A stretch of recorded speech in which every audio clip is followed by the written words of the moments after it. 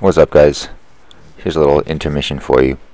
So, break from the climbing videos. So I wanted to talk about this uh, for a while. I made videos about it in the past, but every once in a while I think it's good to make a little refresher. So I'm going to talk about tips and tricks to either start your business and get it off the ground or continue maintaining your business. And I don't know, hopefully I'm going to talk about things that not too many people have talked about. And I wanted to talk about some of the things that people don't tell you. That's kind of, uh, I'm not going to say it goes without saying for a seasoned entrepreneur, but again, uh, I found, I found personally, I'm five years in right now, but certain things surprisingly went straightforward and other things where were an incredible mindfuck. So, you know, I make I make these videos. Uh, well, I make them for a lot of reasons, but you know, I would like to help those in a position like me, because in doing so, I think I am helping me. So, without further ado, so I guess one of the reasons I'm making this video is because the other day, um, channel I subscribed to did a live stream about starting a business with no money. Now, if you haven't seen any of Keith Kalfas's videos, um, if you're thinking about starting a business, I really recommend watching them.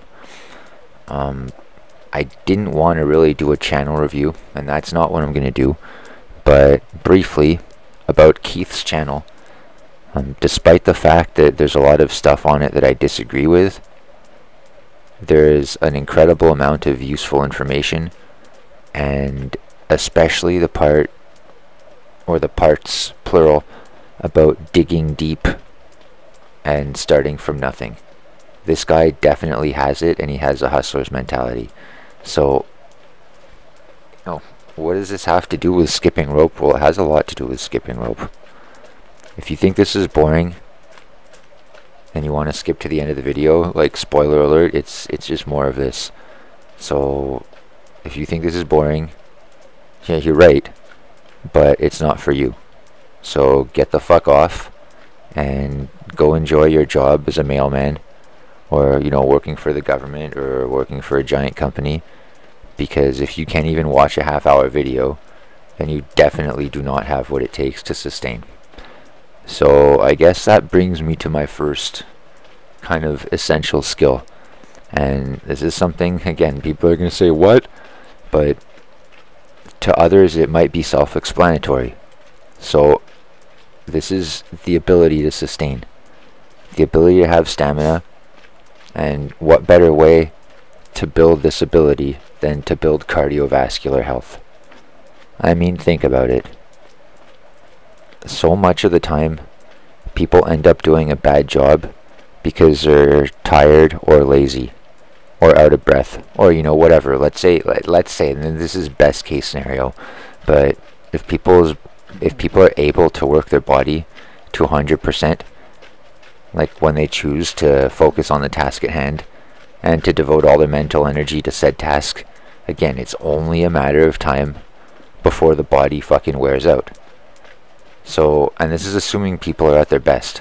So, why wouldn't you want to make it so that your body wears out as slow as possible? You know, if if even okay, naturally everyone's body wears out, but hopefully you take my point. So, this is essential. So, I would I would even say before even the stamina, like you need to build the discipline. You need to build the discipline to tell yourself that you're going to try to go for X amount of time, and then you need to build the stamina to go for X amount of time. Um, so that's the first thing. That's the first thing you need. It's not giant muscles. It's fucking stamina. Stamina, stamina, stamina, stamina, stamina. And you don't even have to go fucking full speed all day. You just have to be able to work at a normal pace, but constantly. Because that's the stuff that gets you tired and it makes you want to quit. And if you're not tired, you can actually think objectively. Um, alright. As far as thinking objectively goes, you heard of post-nut clarity?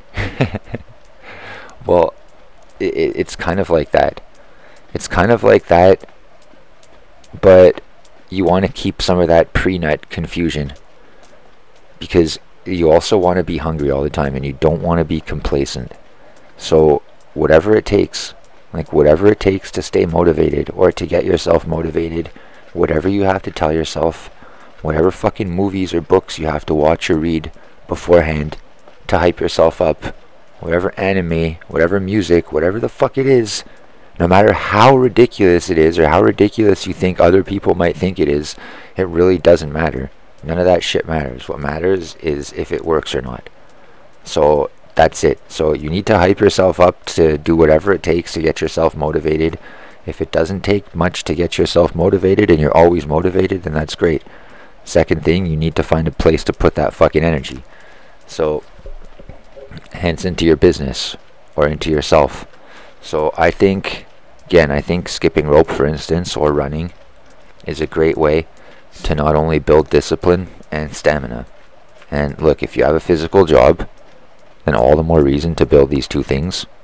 And if you don't have a physical job, then all the more reason to build these two things.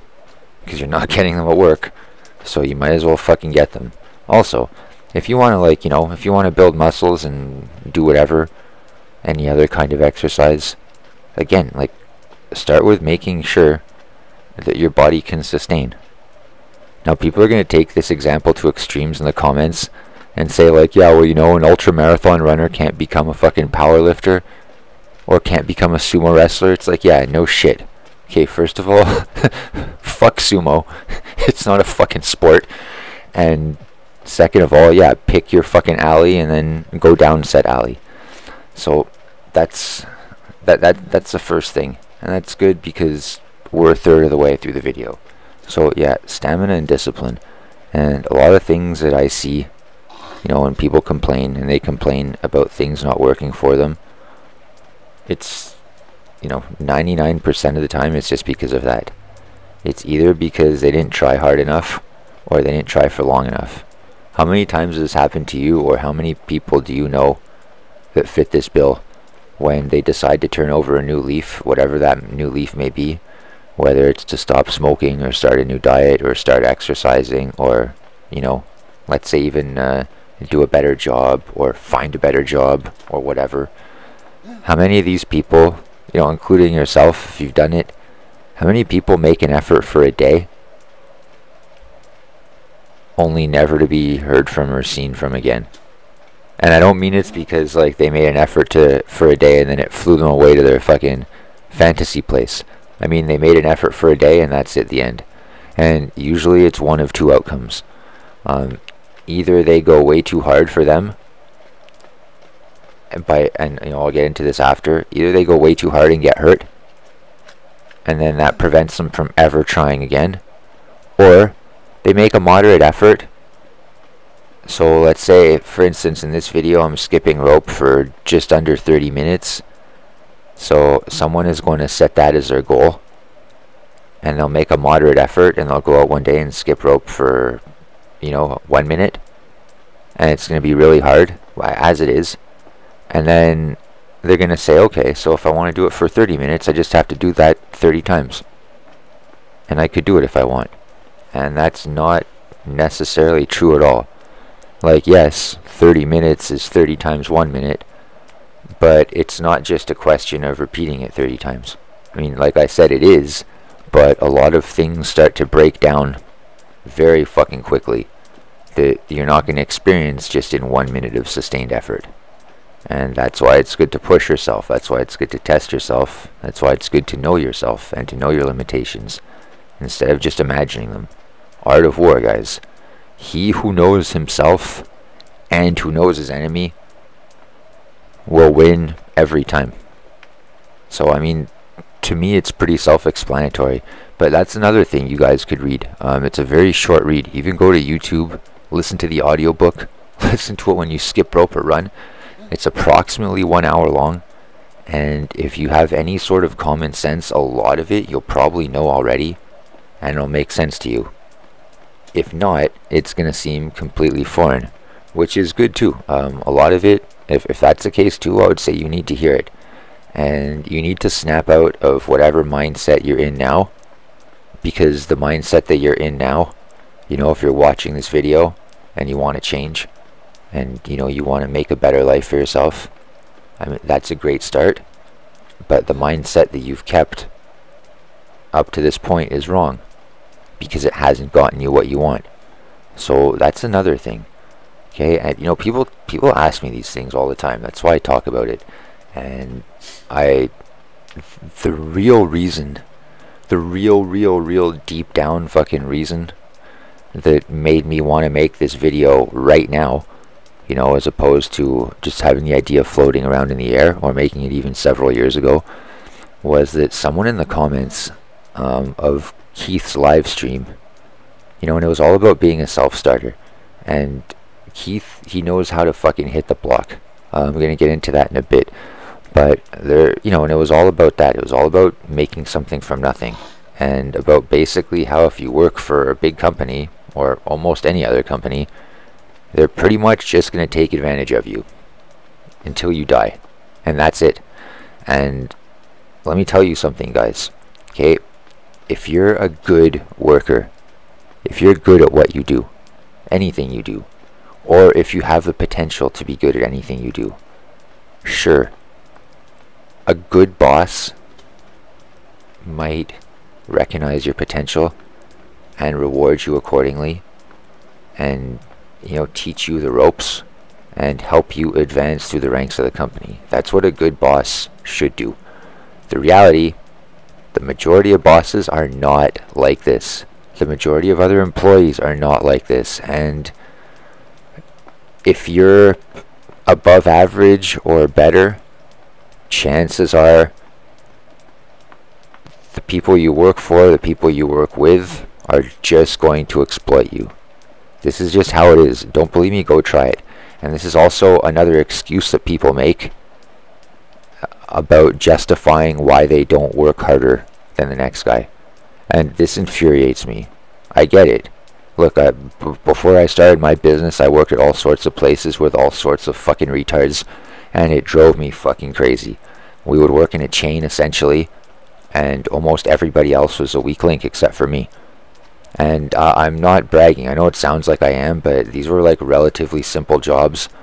But people are so stupid, and people are so predictable, and people are so lazy, and they're so greedy, and people care so much about instant gratification and nothing more. And if you want to succeed on your own, you have to put these fucking ideas out of your head because they're all pure fucking garbage. And they will lead to your degeneracy faster than they will lead to anything else. And they'll give you a sense of entitlement that you haven't earned. And this leads also to the mindset of people thinking that they deserve money just for showing up and doing nothing. Which is fucking ridiculous. Look, man, if anyone worked for me and thought they could get paid just by showing up, like, I'd show them the door very fucking quickly. And it would be fun for me to make an example out of them in front of fucking whoever is fucking watching. Because I get off on that sort of shit. Yeah, so don't fuck up. Do your best. Give it your all. But you know, people don't want to do these things. People want to skip to the very end. So, in the comments, um, you know, what what frustrated me was, you know, someone who didn't know anything. He said, "Oh, the best way to get experience is to work for someone else." and this is an incredibly naive thing to believe. Yes, you know, it, it's okay to have a mentor, but I'm telling you guys, I spent 35 years.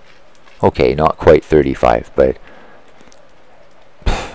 not even since I joined the workforce, but even before I joined the workforce, when I was in school, I, I spent my entire life believing that teachers were good, or that teachers could be good, I just didn't have the right ones, and that employers could be good, I just didn't have the right ones.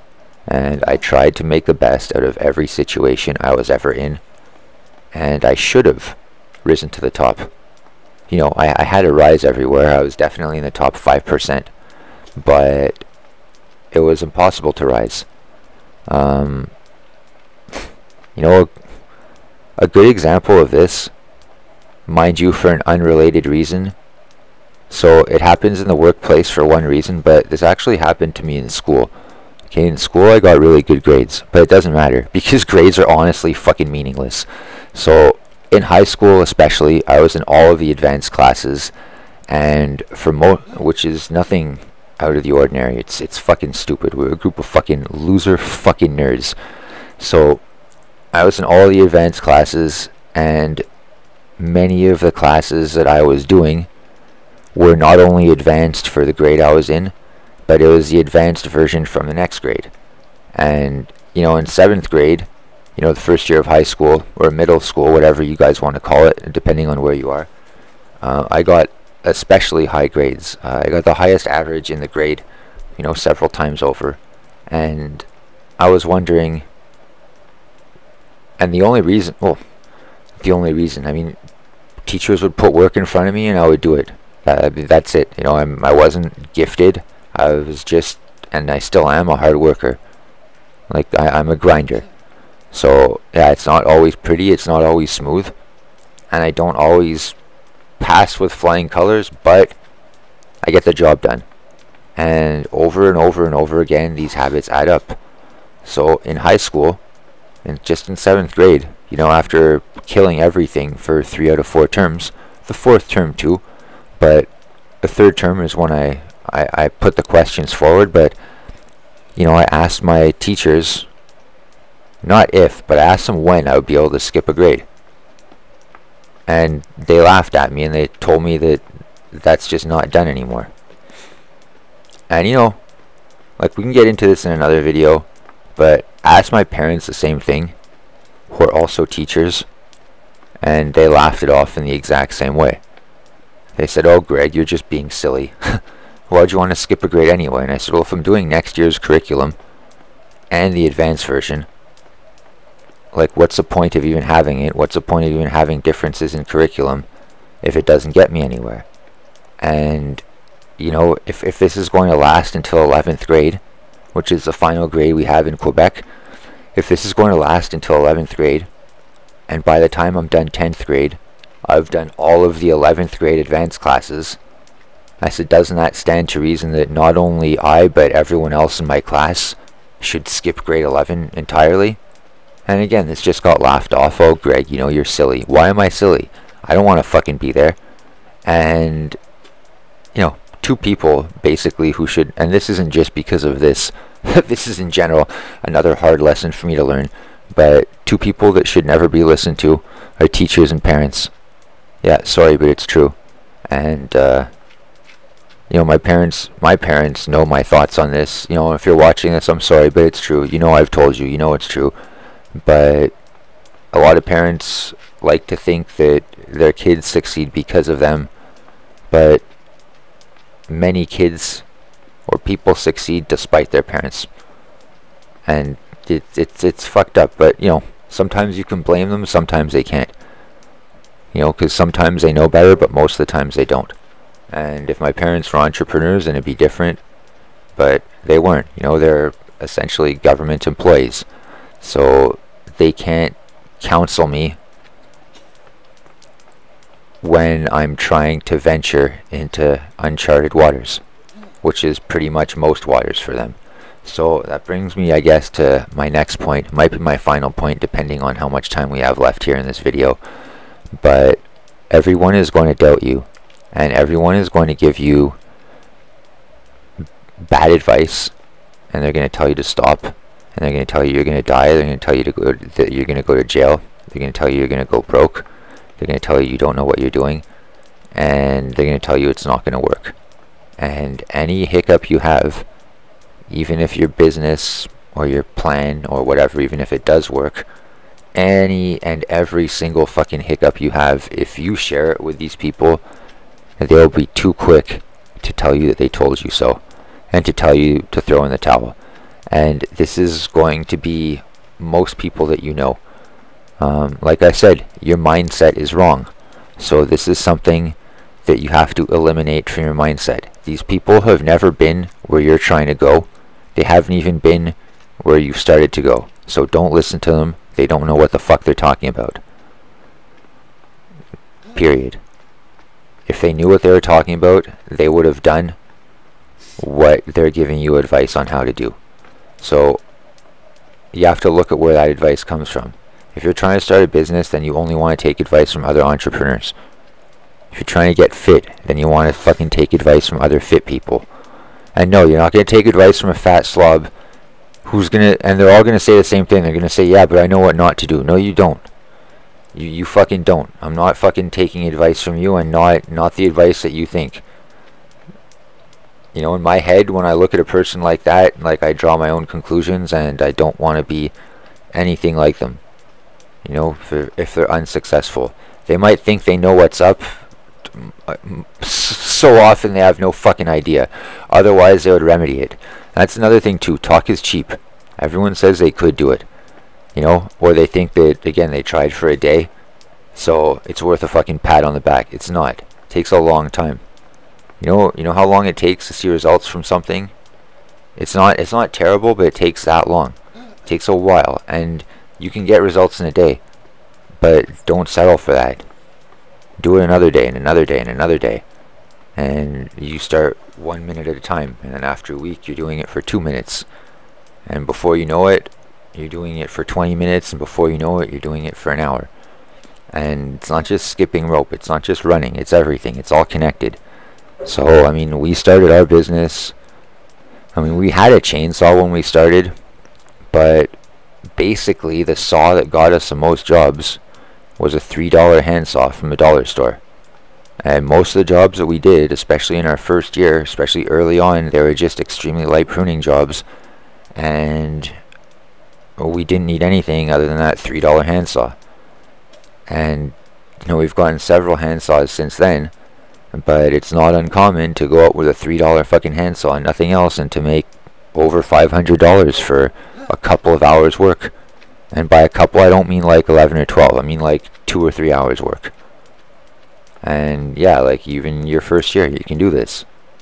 You don't need the biggest of everything. You don't need the most of everything. As a matter of fact, if you try to skip steps to the end like this, you're just going to fuck yourself over. Because you're not going to have earned that equipment and you're not going to have earned the demand to necessitate that equipment. And you're not going to be able to sustain the payments on that equipment and you're not even going to know how to use it. You're not going to have a place to park it and you're not going to learn fuck all. You're just going to learn how to fucking one of the many ways to tank a business and you're not even going to know what you've done wrong because you're adding too many variables that you can't control especially at the onset. So start very small Start with a minimum amount of tools possible and you have to know your own limits and hopefully test them and extend them. So anyway, leave your thoughts in the comments downstairs. That's all I got for now because I'm about to stop skipping and uh, go into a few more tips and tricks after when I put the rope down, but you're gonna have to watch those in another video and I'm just I'm just keeping it going now. Okay. Alright that's it. Okay. Leave a thought in the comments downstairs. Okay. Peace out. Bye